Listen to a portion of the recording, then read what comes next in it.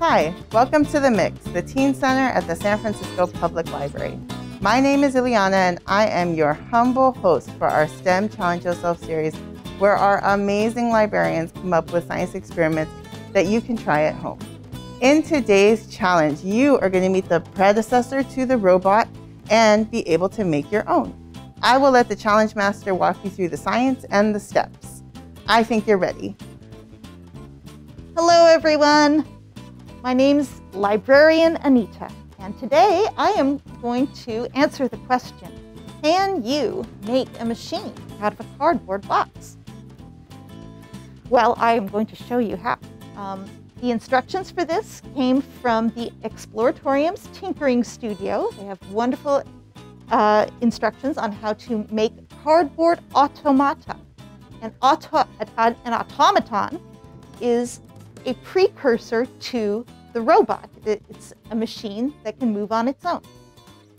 And I took the Exploratorium's instructions and adapted them to use my favorite fastener, duct tape. For this project, you will need a small cardboard box, two bamboo skewers about 12 inches long, a sharpened pencil, a straw that can with scissors. The first step, you're going to take the cardboard box and open it up and flatten it out.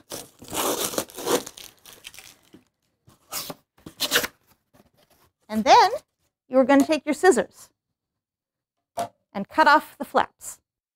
Now, it takes a while to do this, so if you are following along at home, please feel free to pause the video when you need time to work and come back to it. I have examples I've already made, so I'm going to show you. Here is the box with the flaps cut off.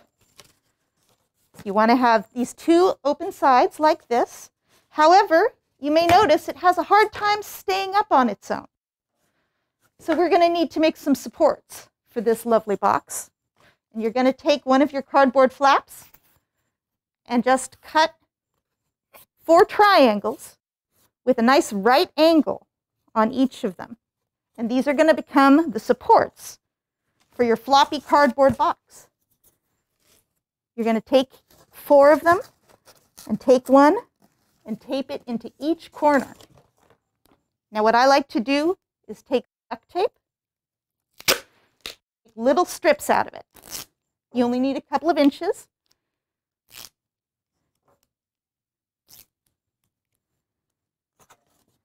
So you take your duct tape, take the support,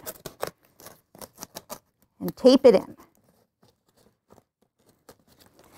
And once you get all four of them, you'll have this, which is the sturdy support that you are going to work with to make of your machine. Next, you're going to take one of your cardboard skewers. Take one of the sides and find a spot right in the middle. And take the pokey part of the skewer and poke it through. Go all the way through to the other side Poke it through the other side. Beautiful. Next, we're going to, this is going to be the axle machine, which is going to spin. And we need some more pieces for our machine, which I'm going to explain to you. You need to cut pieces out of your cardboard flaps, the extra cardboard flaps that you have lying around. And I used circles to start cam and a cam follower. And it's the cam follower is about three inches wide. The cam is about two and a half inches wide. It's a little smaller. It's nice to have cam follower a little bit bigger. And I used jar lids from my cabinet. I just found one that was about the right size and one was a little bit smaller. And I laid them down on a piece of cardboard, traced them out. And that's these you were also going to need some little scraps to hold the skewers. These are called bushings. And you can use any little scrap of cardboard that you have over all this. Take the skewer out You take a little piece of cardboard, you put your skewer through to be nice and snug in there, and then set it aside. The next thing you're going to need is a handle. So just cut a little rectangle out of your flap. So now we're going to take one of our skewers, hook it through the center of our cam.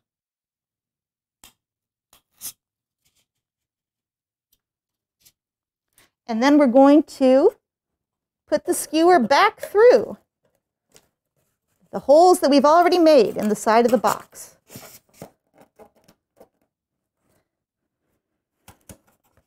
And we're going to want to adjust it so that there's about one inch on one side.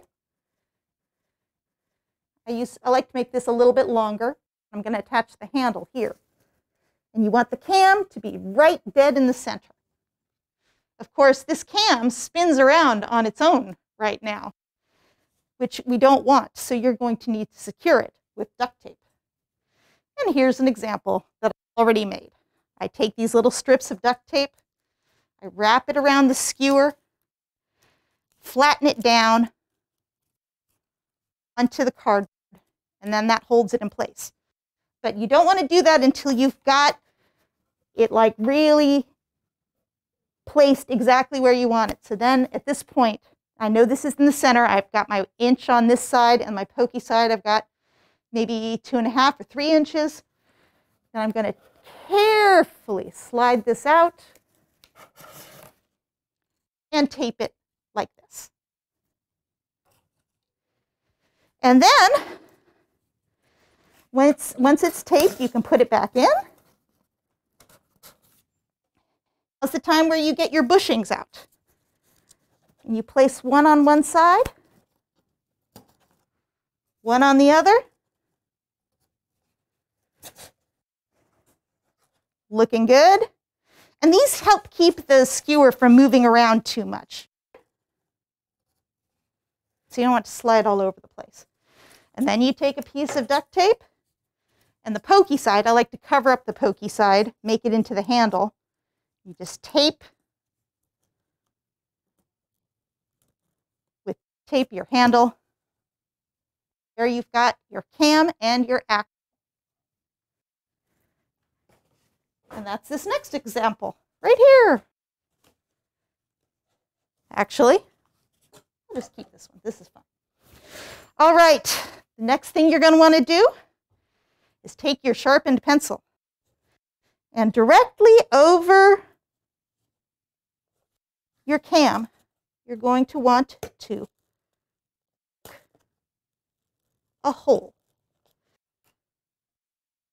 and slide the straw in. Beautiful. Okay, now we've got a lot poking up out of the top here. I'm probably going to cut it down a little bit. And I'm also going to want to secure it a little bit with some duct tape around the top. And this is an example I've already made with this duct tape secured around the straw. And now we have the next part, our cam follower. The cam follower is going to lay on top of the cam, and the motion from the cam is going to transfer to the cam follower and to the top of our machine. So you take your second skewer and lay it here and take a strip of duct tape and just like I did before, tape it down with different pieces. It'll look something like this. And then, once you have this ready, you're going to carefully slide it through your straw. And up and up and up and lay it so that it's on top of your cam. And now it looks like the pieces are fitting together and doing something. This is where you get creative and use some paint and some of your extra cardboard from your flaps to make something to put on top of your skewer, on the top of your machine. Because this is corrugated cardboard and it has little holes in inside, I can just slide this on and it's all ready to go. And here you go, you've created your machine. Now, what is going on here? The science behind this involves friction. Friction is what happens when two objects rub against each other. And in this instance, we have the handle is moving the axle of the machine. The axle is moving the cam. And the friction between the cam and the cam follower is transferring the motion from the axle to the cam, to the cam follower, finally, for a little whirligig on top. This is pretty cool. So that's what it looks like when you're using a circular cam. That's what the motion looks like. Goes round and round. What does it look like if you use other kinds of cams? I have a machine here that has triangular cam that looks like this in the center of it. And this cam, it does rotate a little bit, but it has to go up and down more. And then I have another machine which has an egg-shaped cam in the center and the hole is a little bit off center. And how does this one like to move? It goes up and down and round and round at the same time. So you can play around with different kinds of cams, switch them out to make different options in your machine. You can also play around with different toppers to put on top of your machine. So think about what might go up and down. That goes up and down to go on top. Something that goes round and round to go on the, one of the round ones. There's lots of rooms to experiment. Thank you so much for joining me today. Back to you, Ileana. Wow, Anita, that was fantastic.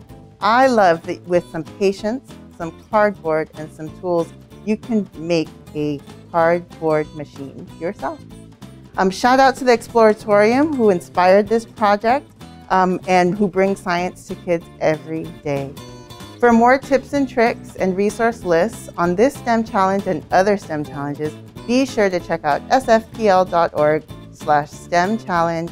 Keep experimenting, keep observing, and stay STEM-tastic.